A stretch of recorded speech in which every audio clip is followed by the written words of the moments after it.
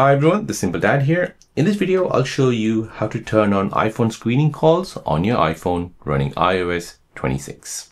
So if you have an unknown caller, you can turn on a feature called iPhone screening, where your iPhone will basically speak to that person and find out who that person is, and then relay that information to you.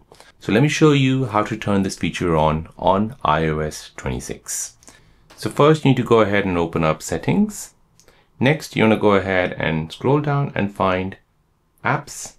From here, find the phone app. Now from here, scroll down and find screen incoming calls. So this is calls from unknown numbers. Turn this feature on.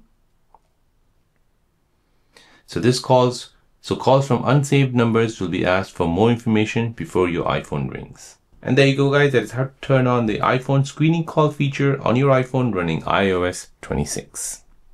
If you're new on the channel and you want to find out more about your iPhone, your Android phone or any other social media apps, then don't forget to subscribe to this channel to become a part of the Simple Dad community.